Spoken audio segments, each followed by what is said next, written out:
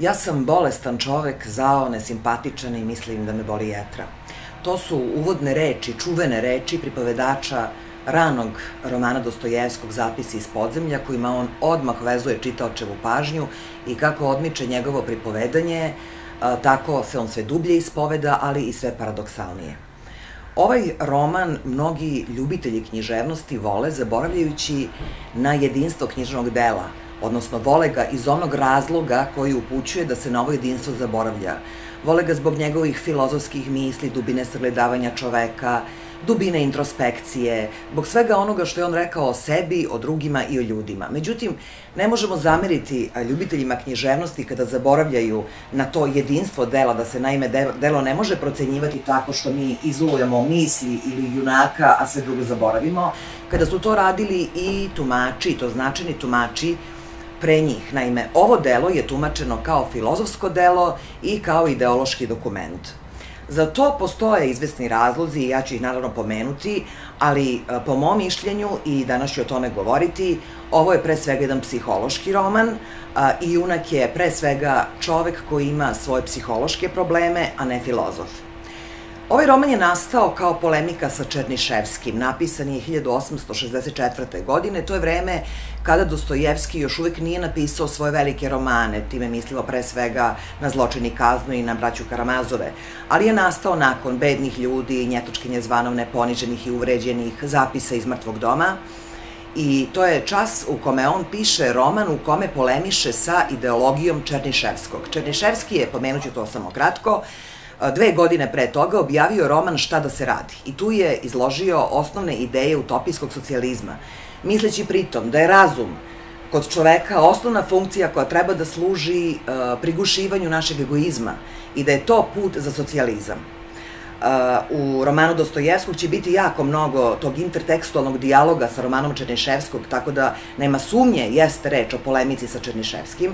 Pre svega, uh, ista je tema u pitanju, uh, tema odnosno motiv spasene grešnice, četiri sna iz romana Černiševskog koja sanja junakinja eh, Vera Pavlovna biće na neki način pomenuta u zapisima iz podzemlja.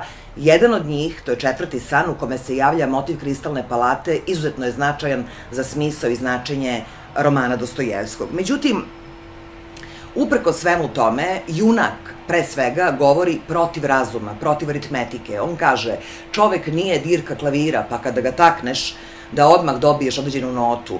On se buni, tvrdeći da čovek vrlo često nalazi veliko zadovoljstvo od patnje, od samoponiženja.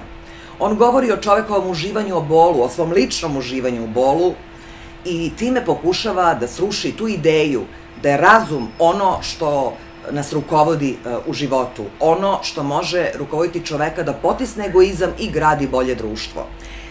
Međutim, e, ako će sve utopijske projekte, a očigledno hoće, urušiti čovekova psihologija, onda ipak treba imati na umu da danas, 150 godina, i više, 156 godina od nastanka ovoga romana, pa e, u času kada Černiševski nije ni tako blizu u našem sećenju. Ovaj roman možemo čitati ne samo kao polemiku sa Černiševskim, nego sa prosvećenošću i sa antičkom filozofijom. Naime, Sokrat je govorio da je razum ono što je jako važno za čovekovu sreću. Sokrat je tvrdio da čovek nikada neće izabrati nešto što je, neće nikada činiti na svoju štetu, dakle nešto što je protiv načela razuma. Jedna od najvažnijih knjiga o etici, Aristotelova Nikomahova etika, govori o tome da je sreća urođena, univerzalna e, težnja čovekova. Istina, on ne govori šta sreća jeste, jer zna da je to relativno i da zavisi od čoveka do čoveka, ali govori o tome da je čovek e, mnogo bliže e, tome da postigne sreću ukoliko razvije svoju prirodu, ukoliko razvije svoj razum, međutim on govori i o značaju vrline za sreću. Ovaj roman jasno govori o inkopatibilnosti vrline i sreće. Glavni junak je amoralan i nesrećan. Jedan od sporednih junaka, ali glavnih u sećanju ovoga junaka, oficir Zverkov, je amoralan i srećan. Liza, ta junakinja koja živi u bordelu i koja je zapravo uh, korišćena po tom modelu spasene grešnice, s tim što ona u ovom romanu nije spasena, nego je još dublje povređena, je vrlinsko biće, i nesrećno. Prema tome, očigledno je da ovde postoji uh, jedna jasna polemika sa Černiševskim, ali to je onaj književno-istorijski kontekst i nužan okvir u kome se ovaj roman mora posmatrati. Moje osnovno pitanje je bilo je ko govori. Jer mi svi znamo da kada dvoje govore isto, to nije isto. Ko je filozof ovoga romana? Naša filozofija, naš svetonazor, naša ubeđenja i tekako su u tesnoj vezi sa našom psihologijom, a ne obrnuto. Prema tome, za mene je ključno pitanje ko je ovaj filozof, jer je prvi deo tog romana vrlo često nazivan filozofskim traktatom. Taj prvi deo je abstraktan. Zapravo u ovom delu, uh, u, ovoj, u ovom romanu postoje dva dela. Prvi u kome junak vrlo konkretno govori o sebi, ali to rastvara u filozofskom diskursu, u univerzalnim promišljanjima, u jednom uh, rastvaranju sobstvenih osobina, u generalno antropološka svojstva čovekova, a u drugom delu romana on se seća nekih konkretnih događaja i epizoda. I zbog toga je taj prvi deo romana nazivan filozofskim traktatom, iako za to zapravo postoji vrlo malo razloga i to ću dokazati uh, pokušajem da uh, uporedim šta nam to zapravo Juna govori u prvom delu sa onim što sebi otkriva u drugom delu romana. U tom prvom delu romana prvo se pokazuje kao vrlo nepouzdan pripovedač. On otkriva da je njegova namera uh, da sebe potpuno psihološki razotkrije.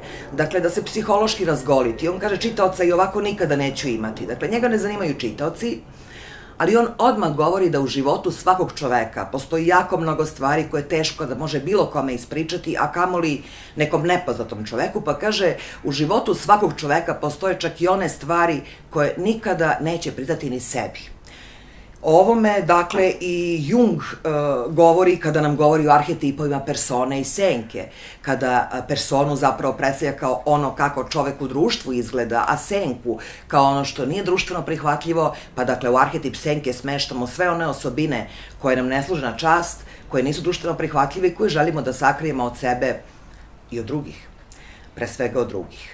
Kada reč o junaku Dostojevskog, on tu senku, dakle svoje skrivene osobine koje navodno želi da razgoliti, zapravo želi da prikrije i od samoga sebe.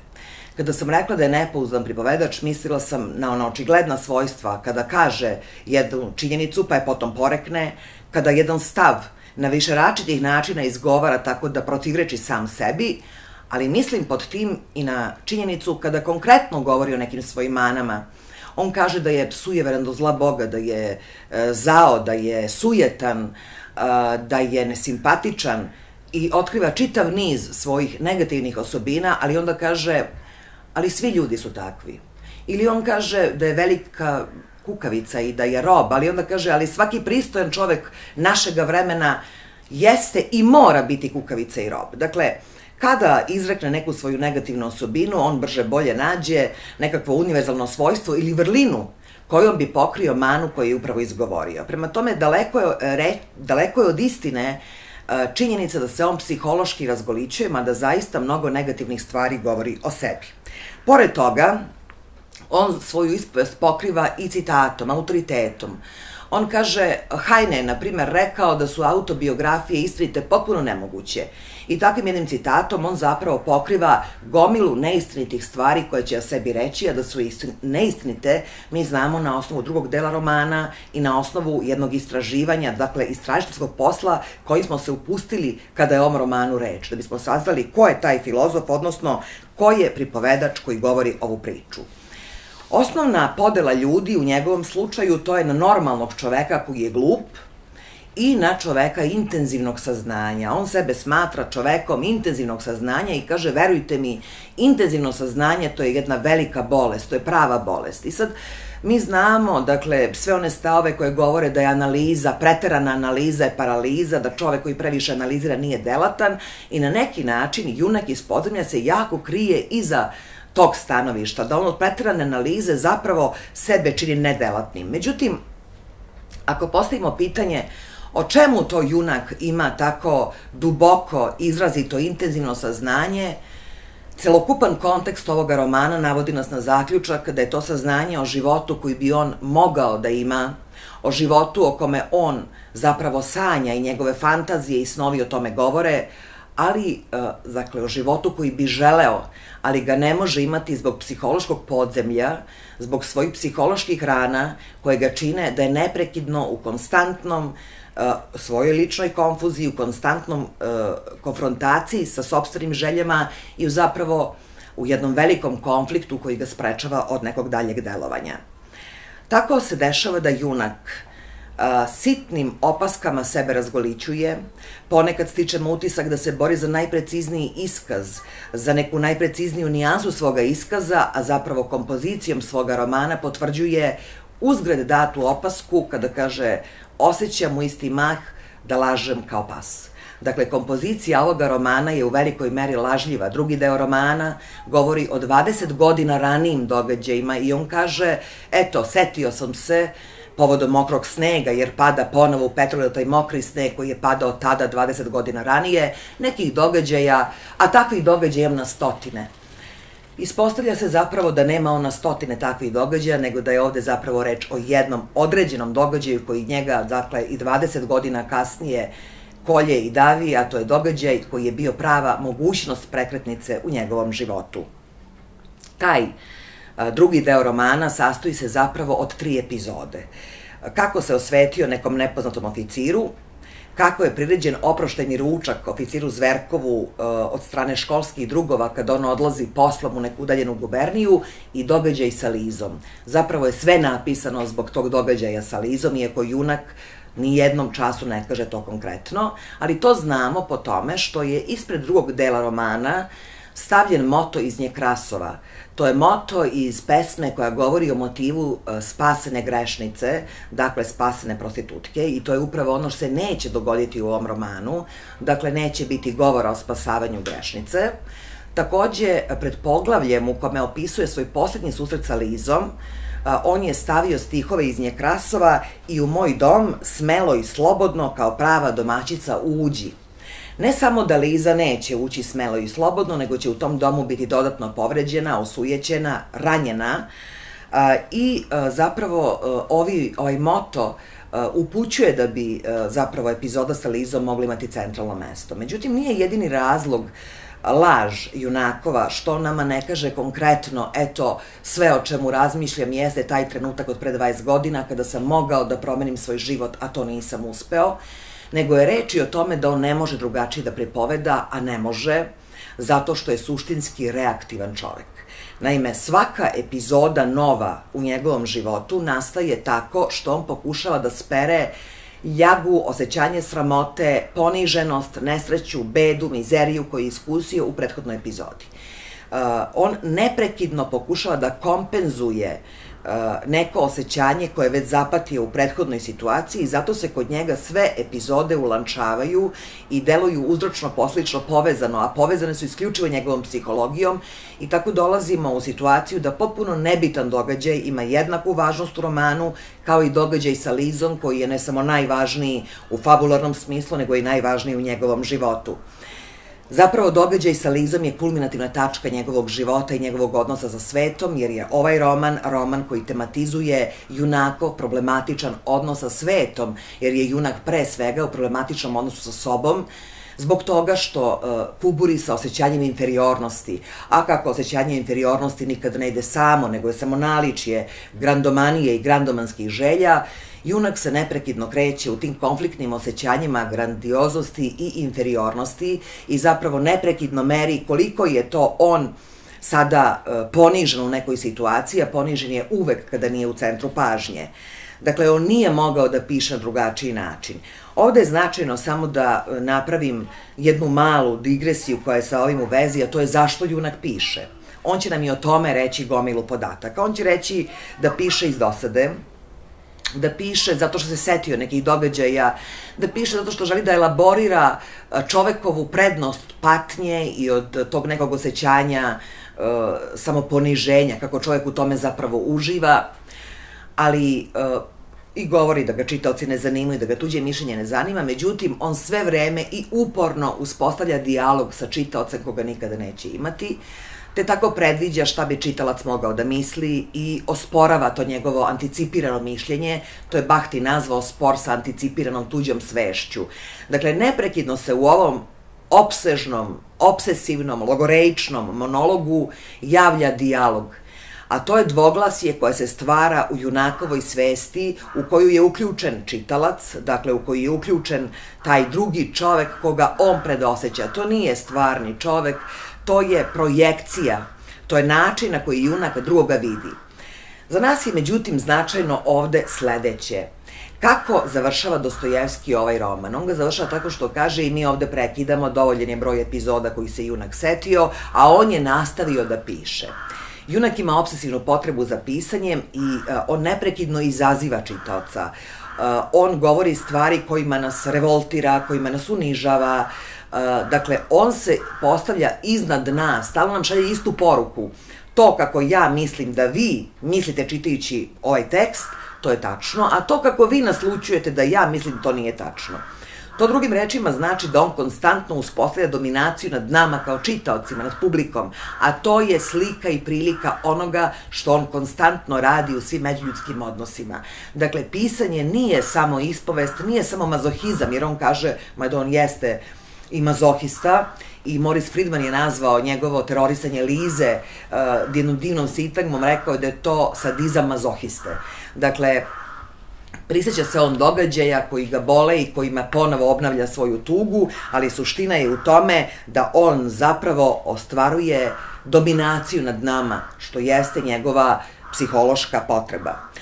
Dakle, e, da bismo došli do epizode sa Lizom, moramo pomenuti one epizode koje su pre toga izazvale problem, jer o, junak u epizode ulazi tako što neprekidno sebi povređuje, ali tako što usput povređuje i druge ljude. Epizoda sa Zverkovim, Zverkov je, dakle, čovek koga on godinama nije video i školski drugovi koje takođe godinama nije video, priređuju mu oproštaj i ručak povodom odlaska u daleku guberniju. Uh, junak uh, ima potrebu i agresivno se nameće tim prijateljima da sa njima ode na taj ručak i tom prilikom uh, se zapravo jako osramoti, tom prilikom je i svađilački raspoložen, ali uh, ključno pitanje je zašto je on imao tako suludu potrebu i on neprekidno čitaocu u prvi plan ističe taj svoj paradoks. Kako je imao užasnu potrebu da ode na taj ručak sa ljudima koje je kvalifikovao, rekao jedan interesantan tip, jedan uh, glupak majmunskog lica, svinja Zverkov, tako ga zove u romanu, uh, uh, Simonov koji me je zvao na pamet i time me je raspaljivao. Dakle, on neprekidno govori negativno o tim ljudima, ali ima suludu i sumanutu i strasnu potrebu da ode na ručak. Dakle, značajno je ovde da se svi junakovi kontakti odvijaju u ciklusima. Naime, junak živi na periferiji periferiji Petrograda i to je takozvano podzemlje. Vidjet ćemo da podzemlje ima simboličku i vrlo konkretnu ulogu, dakle to jeste podzemlje margina Petrograda, to jeste i društvena margina, ali je i talog njegov psihološki. I dakle, Uh, živeći uh, na toj periferiji, on živi dva meseca izolacije i onda usled emotivne gladi, usamljenosti koji ne može da podnese, on se podhitno po automatizmu upućuje u te socijalne kontakte. Zapravo u romanu imamo više prilika u kojima on to radi. To je uradio i ovoga puta, ne znajući kako da izdrži svoju usamljenost. Dakle, pod prisilom te emotivne gladi, on odlazi kod svoga druga Simonova i tamo zatiče školske drugove, za koje odmah primećuje da ga nisu ni primetili, sigurno su me smatrali za muvu. Dakle, junak kada zapaža tuđe odnose prema sebi, on potpuno previđa i one aspekte realnosti kojima nam je dao podatak. On je rekao da ih je zatekao u razgovoru o nečemu vrlo važnom ali on to potpuno previđa i neprekidno zbraja e, kako se on, e, kako, svoj odraz u tuđim očima, dakle neprekidno zbraja to kako se ogleda u tuđim očima i kaže su ga smatrali za muvu, e, zbog čega on zapravo personalizuje tuđe akcije i možemo reći da je reč o jednoj zapravo paranoičnoj percepciji realnosti, kada kažem paranoičnoj, onda pre svega mislim jedan okvir mišljenja koji je orijentisan na prebrajanje tuđih neprijateljstava, on neprekidno uviđa da su mu drugi neprijatelji i mislim na jedan okvir mišljenja, dokle ne nužno u kliničkom smislu, ali svakako u fenomenološko-egzistencijalnom smislu, on jeste svojevrstan paranoičar, zato što neprekidno uh, zbraja uh, dakle, nepravde, on je kolekcionar nepravdi, sve što mu je iko ikada učinio, kako se o njega ogrešio, to će junak zbrajati i ume toga uh, stalno delovati i pritom će zapažati da ga tretiraju kao buvu, da ga nisko vrednuju, da ne presija ništa u tuđim očima, a zapravo će neprekidno izazivati ono što on misli da drugi ljudi osjećaju. Junak je dakle u tom stepenu zaglavljeno samoga sebe, da nema nikakvu sposobnost da uspostavi autentičan odnos sa drugim. Zapravo on nikoga ne čuje, on čuje samo svoje vlastite glasove. U tom smislu on će mržnju prema Zverkovu objašnjavati time što Zverkov ima čitav niz negativnih osobina, ali pravi razlog njegove mržnje na Zverkova jeste ljubomora On ga je mrzeo još iz školskih dana, bio je ljubomoran a, zato što je bio popularan, a zapravo Zverkov kao ličnost za njega nije ni važan. On kaže, mrzeo sam ga zato što su toj bubi a, aplaudirali. Dakle, budući da je junak opterećen neprekidno samovrednovanjem, za njega je taj ručak test stvarnosti. On mora da vidi gde je u odnosu na druge ljude. On pred ovaj ručak dobija groznicu i dolazi na taj ručak uh, u kome najpre je sam bio sat vremena jer su promenili dogovor uh, oko ručka, ovo sve zvuče sitnice, kao sitnice, ali te sve sitnice zapravo njega pogađaju i na neverovatan broj banalnosti se odaziva ovaj junak i sve u njemu izazivaju užasnu buru. Dakle, prvo su promenili uh, satnicu, dogovor, ali nisu mogli da ga obavesti, ne znali gde stanuje. To je za njega dovoljno da smatra da je ponižen. Dolazi sat vremena, ranije šetka i osjeća se neprijatno, a potom kada se skupe drugovi, on postaje nemoguć, reaktivan, svadljiv, vređa ih i završava tako što šetka tri sata ispred otomana na kome sede prijatelji, da bi se nakon toga izazvao na dvoboj zverkova, pa se izvinio uh, Simonovu, pa potom od njega pozajmio novac i zajedno sa njima otišao u bordel. Neverovatan je arsenal e, ponašanja koje ova junak ima, sa neverovatnim promenama raspoloženja, vrlo često one deluju potpuno nemotivisana i pre svega one i jesu lažne u tom smislu što junak kad drugima istura lažni self. On se u tom stepenu krije, da on nikada ne daje podatak drugome o tome kako se u istinu osjeća, ali u isti mah se njegove emocije zaista i brzo smenjuju, jer on nije uspeo ni samoga sebe da upozna dovoljno. Bo toga možemo govoriti o lažnom selfu koje on istura drugima, ali možemo govoriti uh, i o toj, dakle, uh, o tom paranoidnom potkrepljivanju predrasude, on unapred predmneva šta drugi misle i onda hvata elemente realnosti koji to potvrđuju. Tako da se on neprekidno kreće u vlastitom uh, zapravo jednom svetu koji je iskrojio sam i u kome drugih u istinu i nema. Njega na tom ručku raspaljuje to što je Zverkov u centru pažnje, iako jer raj ručak upriličan zbog zverkova. Dakle, junak ni u jednom zahteva i traži da bude neprekidno u fokusu i pošto ne uspeva u tome, to ću činiti na sve moguće načine. Njegove stalne promene raspoloženja e, u isti mah služe e, i manipulaciji, izazivanju pritiska na druge ljude, pokušaju da na njih utiče, pokušaju da od njih dobije ono što želi. Konkretno ovde, pošto se osramotio, on uspeva da za njima ode u bordel, I čak on racionalizuje svoju mržnju. Naprimer, on kaže da je jednoga od njih mrzeo zato što se neprekidno ulagivao Zverkovu, a stalo mu i dugovao novac. Na nekom drugom mestu u romanu junak kaže da i on sam dugovao uh, Simonovu novac, pa se opet usuđuje da mu i te večeri do njega pozajmljuje. Prema tome, uh, nezavisno od činjenica u realnosti, junak uvek nađe opravdanje za sebe, i u istima govori da nije racionalna da se ta mržnja koju je osjećao ne može racionalizovati, da je reč o jednom njegovom unutrašnjem talogu, odnosno po mom mišljenju, jednom čitavom sloju užasno negativnih osjećanja koje on ima nezavisno od okolnosti. To je zapravo kao junak u čijem se nesvesnom, iracionalnom nalazi čitav koloplet ljubomore, besa, zavisti, agresije i onda samo traži ukidače u realnosti kojom prilikom će svi, sve te emocije pokuljati, a koje on suzbija i živi zapravo u podzemlju na periferiji stoga što je za njega prekomplikovano da bude u odnosima sa ljudima. On takođe e, konstantno proniče u sistem vrednosti drugih ljudi, zbog čega je u kritici vrlo često i dugo, pa i danas, vladalo uverenje da je on kritičar a, društvene stvarnosti, da on živi na periferiji zato što nije želeo da ostvari te društvene vrednosti tadašnjeg Petrograda. On opaža da ga drugovi ne vole zato što je siromaštan, što je siromašan, što je u pohabanom kaputu, što je socijalno beznačajan ali će pritom i sam i tekako opažati sve znake uh, socijalne moći i zapravo ni po čemu neće pokazati da socijalna moć i metak i u njegovom sistemu vrednosti ne igraju jednu od važnih uloga. Pritom, se na jednom mestu, zapravo u romanu, neće pokazati da je ta društvena podela ono što je junaka zapravo odvelo na podzemlje. Njegov takmičarski duh vidljiv je još od malih nogu, još u školi, je on bio izolovan, ali je tada nadomešćivao svoje osjećanje niže vrednosti učenjem i intelektualnom dominacijom. U zrelom dobu, budući da je sredstvo socijalna moć, a da je on nema, on zapravo nema to osnovno sredstvo kojim bi pokazao i ostvario nadmoć, pritom i nadmoć koju on želi zapravo i nije nadmoć tih društvenih razmera. Junaka ne bi zadovoljilo da on sam bude Zverkov njemu bi trebalo, dakle, nešto što bi zadovoljilo njegovu grandomansku ideju, a to je ideja, on kaže, nikada nisam mogao da podnesem nekakvu drugorazrednu ulogu. Ili gad, uh, ili, dakle, na postamentu, ili sjajan.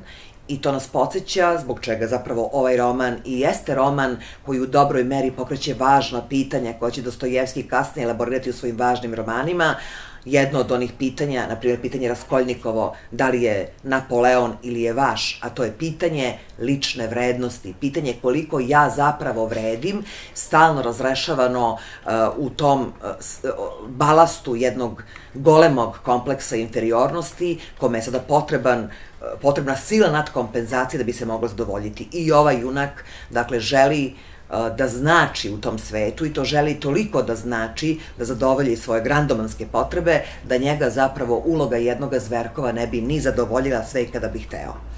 Dakle, u svakom slučaju neslavno se završava ovaj ručak i on odlazi u bordel gde upoznaje Lizu. Značajno je ovde da je ova epizoda dobila ogroman prostor u romanu, kao i jedna slučajna epizoda koja je još beznačajnija, gde mu se dogodilo da pod pritiskom te emotivne gladi prođe pored jedne krčme iz koje su izbacili čoveka, a kada su ga izbacili, junak je poželeo da on bude na njegovom mestu, da i njega izbace.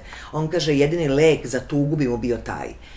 Šta to zapravo znači? Da bi lek za tugu mogao biti samo značaj koji postiže u tuđim očima, kao da junak po sebi nema nikakvo svojstvo, nema nikakvu vrednost, njemu su neprekidno potrebni drugi da bi definisao vlastitu uh, vrednost i značenje. To zapravo govori o potpunoj neautentičnosti, nesubstancijalnosti ovoga junaka.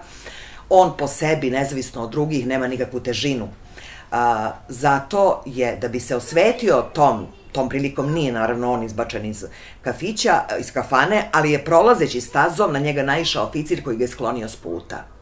To je doživao kao golemo uh, poniženje koje je odredilo narednih nekoliko godina njegovog života I junak nadalje piše osvetničko pismo, piše satirično pripovetku koju ne šalje. To su sve pokušaj da razreši, da kompenzuje, dakle, e, to osjećanje e, poniženje koje je doživeo, pozajmljuje novac, kupuje okovratnik od Dabrovine, e da bi se jednom prilikom pojavio e, paralelno naspram oficira i prošao pored njega i zaista u jednoj prilici on pored njega prolazi i opisuje nam tu situaciju kako su oni potpuno ravnopravno prošli, mada je ta situacija vrlo sumnjiva on kaže, oficir je prolazio pored njega i pravio se da ga nije ni primetio, mada jeste. Zapravo cela ta situacija govori da je junak u jednom času u sebi preboleo tu situaciju, prošao pored tog oficira, ravnopravno i, dakle, čitav, čitavi meseci i godine života bili su odlučeni tim ponašanjem, dakle takvom banalnošću. Takav junak, dakle, te večeri, kada je već doživao strašno poniženje, dospeva u bordel gde upoznaje Lizu. Do ovoga časa Uh, već smo, dakle, zapazili čitav niz, i ja bih ovde na jednom mestu to rekla, čitav niz narcisičkih osobina ovoga junaka, pritom mislim na narcisički poremećaj ličnosti, dakle, pre svega nemogućnost da se izazovu pozitivne emocije bez provociranja negativnih. Potom, taj talog e, agresije, zavisti, stalne ljutnje na druge ljude, činjenice da događaji počinju za njega onda kada je on uvređen, bez obzira šta je on pre toga drugome učinio, jedno osjećanje neodgovornosti, dakle, on sebe nikada ne vidi odgovornim za svoje postupke, potom nesposobnost za, produktivna, za produktivan rad, junak ima isključivo narcisičku motivaciju. Dakle, sva motivacija svih njegovih ponašanja jeste da izbalansira lično osjećanje bezvrednosti.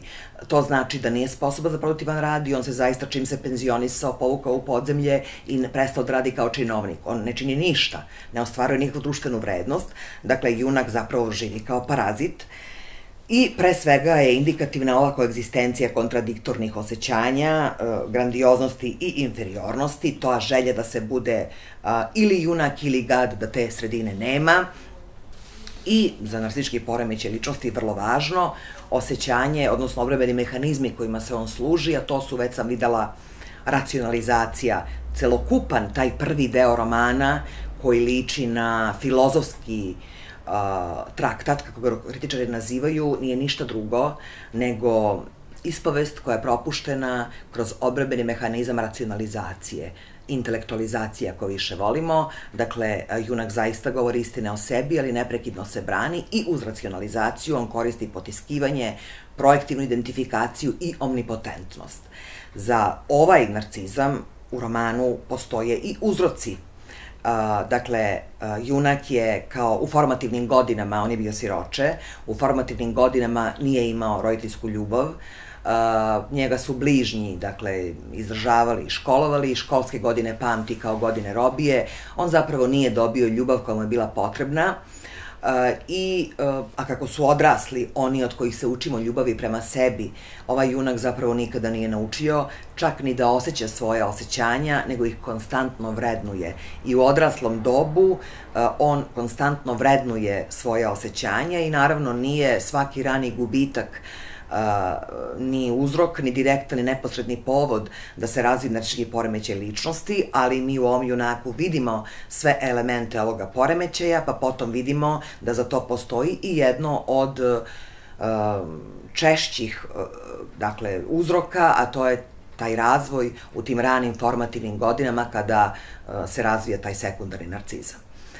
Takav junak, dakle, sa takvim problemima u komunikaciji sa svetom, sa sobom, dospeva do Lize.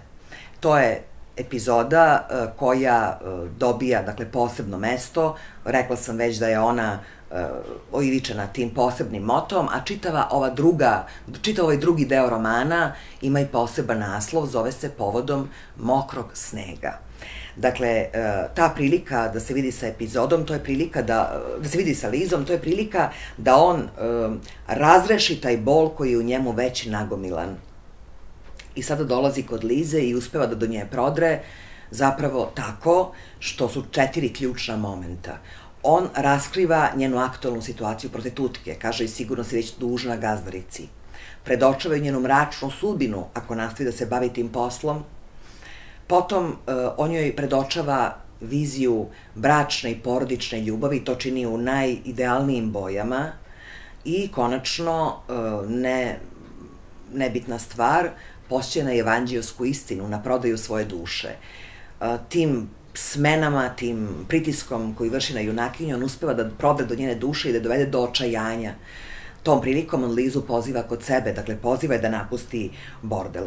Značajno je ovde da ta vizija bračne ljubavi, na koju, dakle, direktno postiče Liza junaka, govori ipak uh, o jednom junakovom idealu. Jako je malo takvih pohvala ljubavi kako će dati ovaj junak i ispostavlja se da je njegov strah od ljubavi i strah od intimnosti zapravo jednako velik kao i taj strah od mržnje zapravo veći, jer on tuđom mržnjom neprekidno potkrepljuje svoje osjećanje vrednosti. Ako ga drugi mrze, ako ga drugi napadaju, onda on i tekako vredi. Ali sa ljubavlju ovaj junak ne zna šta će, jer on nosi jedno osjećanje koje Lang nazvao uh, ontološka nesigurnost to je ono osjećanje da će nas tuđe prisustvo, tuđe duboko poznavanje utopiti, pojesti, potpuno nam razoriti identitet. Setit ćemo se ovde da Simonova nije mogao da podnese zato što ga je ovaj znao na pamet. Dakle, jedina uh, uh, strategija, najbolja strategija pred, pred tom pretnjom da će nas prožreti druga, drugi čovek, ako nas potpuno upozna, jeste izolacija. I to junak i radi. Dakle, kada ne postoji uh, čvrsto osjećanje selfa, kada ne postoji osjećanje egzistencijalne sigurnosti, odnosno ontološke sigurnosti, to je zapravo jedna, to je Lang nazvao šizofrena životna pozicija, ne smatrajući je bolesnom, bolesno je nazvao šizofrenijom, ali ovo je pozicija uslovno rečeno zdravog čoveka koji se nalazi u situaciji te ontološke nesigurnosti. Dakle, on dolazi kod Lize takav, poziva je da izađe iz bordela, ali on već tada o sebi zna uh, i mora znati da je njegov problem sa ljubavlju, dakle da on ne može da voli. U času kada uh, Liza izgovori samo jednu rečenicu, tada u bordelu, ona mu kaže govoriš kao iz knjiga i to je dovoljno da junak ima bes i da želi da je kazni, a njegova potreba za kažnjavanjem drugih ljudi je stalno uh, aktualizovana u romanu. Zašto ga je to povredilo? U jednoj ranijoj situaciji kada govori o sebi, junak kaže govorio sam kao iz knjiga.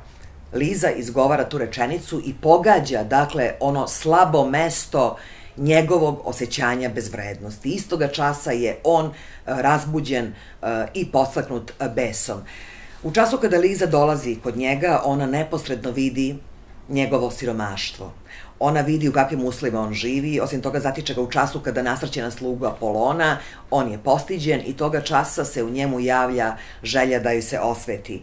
Dakle, on će Lizi ispovediti određene istine o sebi i to će reći tačno, ali Liza ih neće uzeti uh, lično. Uh, Liza je, za razliku od njegovih prijatelja nad koje je mogao da pobedi, sve što o životu pamti, junak pamti kao niz pobeda i poraza. Lizu nije mogao lako da pobedi, jer je Liza u tom času biće ljubavi. Dakle, Liza dolazi kod njega spremna da da, ali junak koji ne može da voli, jer kaže, za mene je ljubav uvek bila spos, spremno da se drugi tiraniše, želja da se na drugim dominira. Junak zapravo bi želeo da voli, ali da dominira i kontroliše. To je naravno nemoguće i u tom trenutku on Lizu povređuje svojom ispovešću je uvlači u intimni odnos, a potom joj vrlo teatralno za taj odnos plaća. Uh, sasvim neteatralno Liza taj novac ostavlja i zaovek odlazi iz njegovog života i to je ta ključna situacija za koju on zna i 20 godina kasnije kada počinje pripovest da je ključna, da je to bila ključna tačka njegove prekretnice, kada je mogao da napravi drugačiji životni izbor, a nije. Dakle, podzemlje o kome je u ovom romanu reč nikako nije samo društveno podzemlje. Podzemlje je pre svega njegov mentalni, emotivni talog, Podzemlje je uh, ono iz čega on može da čitavu situaciju sa Lizom racionalizuje pa da kaže, misleći o Lizi, šta je bolje, jeftina sreća ili uzvišena patnja. Kada tako racionalizuje celu situaciju, postavi se odmah iznad Lize i, bar u prvom času i za nekoliko trenutaka, on spere to osjećanje užasa, jer je zapravo jedno ranjeno biće i jednu žrtvu povredio. Junak iz podzemlja nema saosećanja, niti ga može imati čovek koji sebe doživljava kao najveću moguću žrtvu, kako on sebe doživljava. On zapravo živi u čitavom tom uh, psihološkom aranžmanu, da je on žrtva, da su njega drugi da ga nisu volili, da su ga mrzeli, da su ga zlostavljali.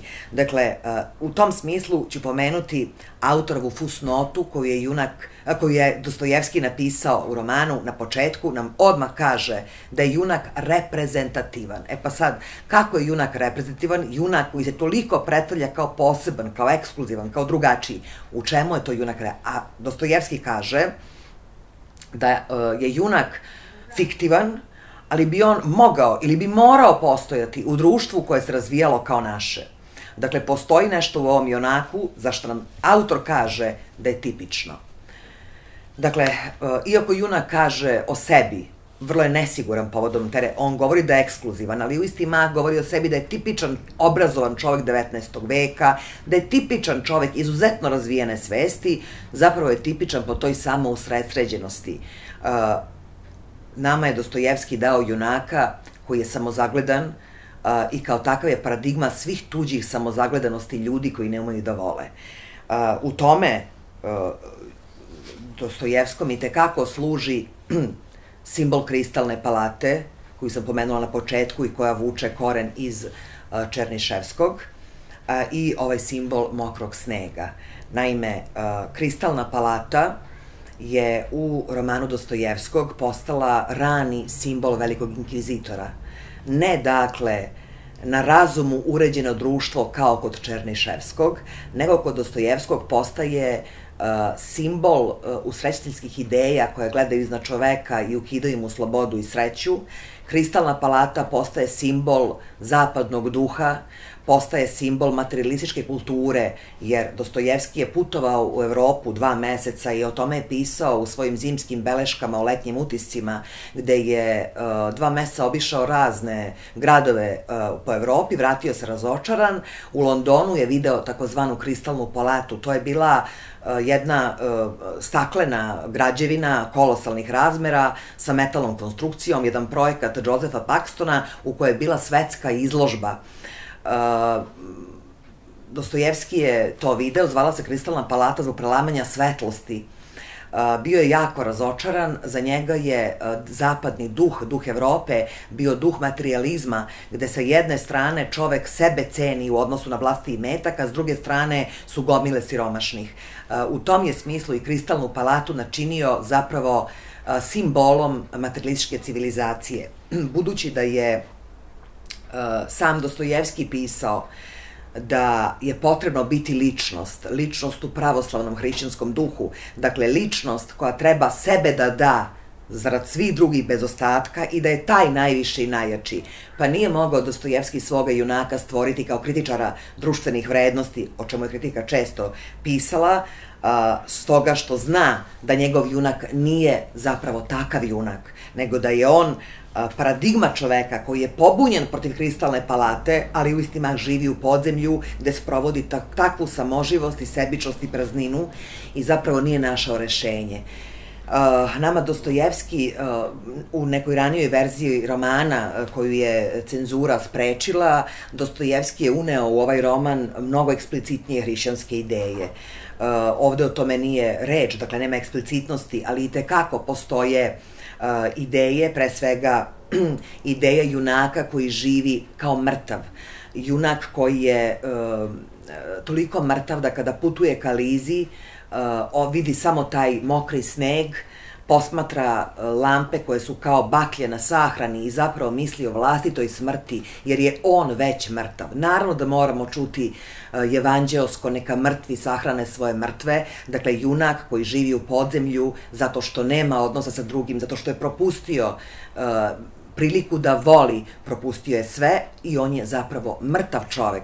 Narod da nije mogao biti kritičar društva, jer je junak sa mravljim potrebama, kako to definiše Dostojevski, a ne onaj koji se žrtvuje u ime svih, a zapravo i evanđelje nam govori o čoveku, onaj koji je najviši među vama, neka vam služi. U tom smislu, ta jaka potreba da nešto znači, ali u grandioznim potrebama i ta uh, jaka potreba da se bude iznad drugih, da se kontrolom i dominacijom to uspostavi, jeste ono što zaovek ovoga junaka čini mrtvim i zapravo čitav ovaj roman kroz jednog i tekako poremećenog junaka, junaka za koga Nikola Milošević kaže da nema ni jednu pozitivnu osobinu, zapravo prikazuje uh, taj uh, svet imidža, svet ljudi bez autentičnosti, svet ljudi, kako kaže u romanu, čovek koji se razumeo u vinu zvanom Lafit i to je bila njegova specifičnost. Dakle, ljudi koji posredstvom spoljašnjih stvari grade nekakav svoj identitet, a u istinu ga nemaju. U tom smislu je ovaj roman živi danas, možda i više nego ikada ranije i ovo čitanje možda na neki način osvežava i povezuje koliko je iz onoga vremena, imajući druga htenja i polemiku sa Černiševskim, Dostojevski otišao daleko u prikazu jedne narcisičke psihologije koja je u našem vremenu postala pošast i koja zapravo govori o čoveku koji ne može da voli i kao takav ne može da bude ni srećan i promašuje celokupan svoj život.